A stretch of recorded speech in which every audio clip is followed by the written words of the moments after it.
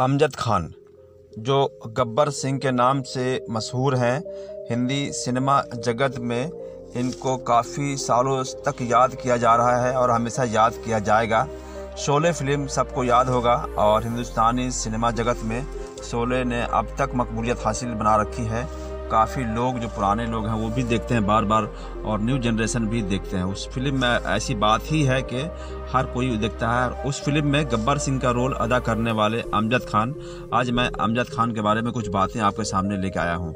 बहुत ही बेहतरीन अदाकार ढेर सारी फ़िल्में बनाए और सिर्फ़ इक्यावन साल की उम्र में ये दुनिया से छोड़ के चले गए। उनकी पैदाइश हुई थी 12 नवंबर 1940 को और उनका इंतकाल हुआ 27 जुलाई उन्नीस सौ बानवे को। और इस तरह से वो इंडियन एक्टर और डायरेक्टर भी थे, बहुत सी फ़िल्मों में डायरेक्शन भी किए। इन्होंने 130 से ज़्यादा फ़िल्मों में काम किए और उनका सबसे ज़्यादा role villain villain villain role villain role ज़्यादा करते थे। कभी कभी कॉमेडी रोल भी किए हैं। तो विलन रोल के लिए वो उन्हें जाना जाता है। और सबसे ज़्यादा उनको फ़ेमस हुआ था गब्बर सिंह के नाम से सोलह फ़िल्म में और उन्नीस सौ पचहत्तर का ये क्लासिक फ़िल्म आज भी लोगों के दिल को ताज़ा रखता है। उसके अलावा इनको मुकद्दर का सिकंदर फ़िल्म एक आया था उसमें भी सुपर हिट फ़िल्म रही उसमें भी इनका काफ़ी रोल सराहा गया ढेर सारी फ़िल्में थी आ, उसमें बात करेंगे हम। इनकी पैदाइश 12 नवंबर 1940 को बॉम्बे में हुआ जब ब्रिटिश राज में जब वो बॉम्बे प्रेसिडेंसी में आता था। और इंतकाल हुआ इनका जब देहांत हुआ इनका मौत हुआ सत्ताईस जुलाई उन्नीस सौ बानवे को इक्यावन साल की उम्र में मुंबई महाराष्ट्र में। इनकी नेशनलिटी इंडियन और इनका ऑक्यूपेशन हुआ एक्टर और डायरेक्टर। ये एक्टिव रहे फ़िल्मों में उन्नीस सौ पैंसठ से लेके उन्नीस सौ बानवे तक। और जानकारी के लिए इनको सबसे ज़्यादा फ़ेमस हुआ एक गब्बर सिंह के नाम से।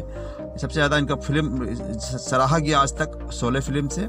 इनकी वाइफ का नाम शैला खान और इनके बच्चे तीन हैं। उसमें से शादाब खान बहुत फ़ेमस हैं वो भी आज लोगों को जानते हैं।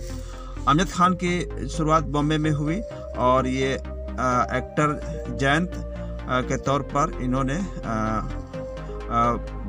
इन्हें पश्तून फैमिली चालीस में इनकी पैदाइश हुई थी।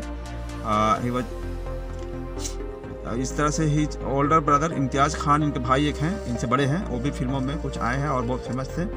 अमजद खान की पढ़ाई हुई Saint Andrew high school Bandra में और अटेंड किए इन्होंने आर डी नेशनल कॉलेज। इस तरह से वहाँ से बहुत कुछ सीखे ये।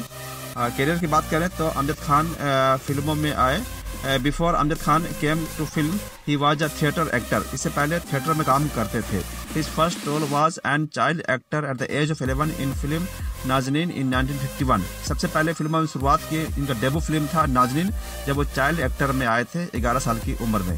His next role was at the age of 17 in the film of Ab Dilli Dur नहीं 1957 और उन्नीस सौ सत्तावन में इनकी एक फ़िल्म आई थी, अब दिल्ली दूर नहीं, जब उनकी उम्र 17 साल थी, उस फ़िल्म में काम किए थे।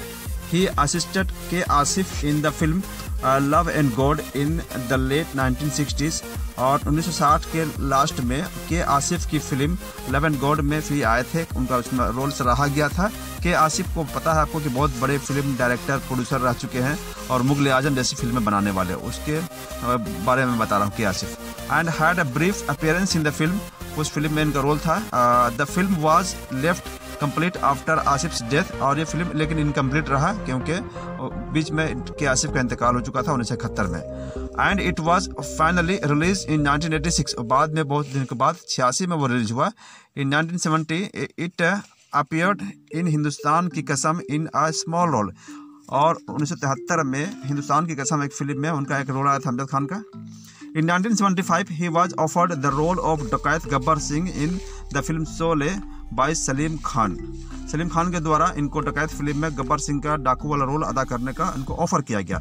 Who was one of its writers it preparation of the role Amjad release अभी शब्द Chambal book of Chambal dacoits written by Tarun Kumar Bhaduri actress Jaya Bhaduri father Hindustan के जो जय भादुरी हैं उनके बाप का नाम तरुण भादुरी उनकी किताब लिखी हुई थी चंबल डकैत्स उसी किताब पर आधारित है यह film Abhishapth Chambal Amjad sought to stardom with the movie. His portrayal of Gabbar Singh is considered uh, by many to be the first depiction of pure evil of Indian cinema.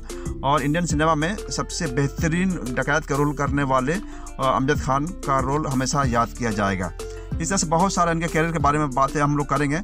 जान लेते हैं इनके फ़िल्मों के बारे में। शुरुआत इन्होंने किया था उन्नीस सौ इक्यावन से नाजिन फ़िल्म से और संतावन में अब दिल्ली दूर नहीं, उन्नीस सौ इकसठ में माया और उन्नीस सौ तिहत्तर में हिंदुस्तान की कसम, उन्नीस सौ पचहत्तर में शोले और उसके बाद उन्नीस में फ़िल्म बनाए थे चरस और गिन्नी और जोनी और उन्नीस में ढेर सारी फ़िल्में बनाए, जैसे कि आफत, आँखों, आखिरी गोली चक्कर पे चक्कर हम किसी से कम नहीं। कसम खून की आ, पलकों के छाँव में परवरिश राम भरोसे शतरंज के खिलाड़ी इनकार। और उसके अलावा उन्नीस सौ अठहत्तर में भी ढेर सारी फ़िल्में बनाए। अपना खून बेशरम बंदी भूख देश परदेश गंगा की सौगंध हीरालाल पन्नालाल कस्मे वादे। खून की पुकार मुकद्दर। मुकद्दर का सिकंदर। फूल खिले हैं गुलशन गुलशन। राम कसम। सावन का गीत। उसके बाद 79 में, उन्नीस सौ उनासी में बहुत सारी फ़िल्में उनकी आई। एहसास आत्माराम, चंबल की रानी, दादा, दो शिकारी, हमारे तुम्हारे, हम तेरे आशिक हैं। लोक परलोक मीरा, मिस्टर अंटरवाल राखी की सौगंध, सरकारी मेहमान, सुहाग, बॉम्बे 405 माइल्स, चंबल की कसम, ज्वालामुखी, खंजर, लाहू पुकारेगा लूटमार और 1980 में फ़िल्म था प्यारा दुश्मन, कुर्बानी। राम बलराम, यारी दुश्मनी। और उसके बाद उन्नीस सौ इक्यासी में भी ढेर सारी फ़िल्म बनाए। इस तरह से फ़िल्मों का सिलसिला बहुत लंबा रहा, सब बताएँगे बहुत लंबा टाइम लगेगा। अमजद खान एक बहुत अच्छे एक्टर थे। मैंने उनके बारे में कुछ बातें आपके सामने शेयर की। मेरा ये वीडियो आपको कैसा लगा प्लीज़ इस वीडियो के नीचे कमेंट बॉक्स है, उसमें ज़रूर बताएँ। Thanks for watching this video bye bye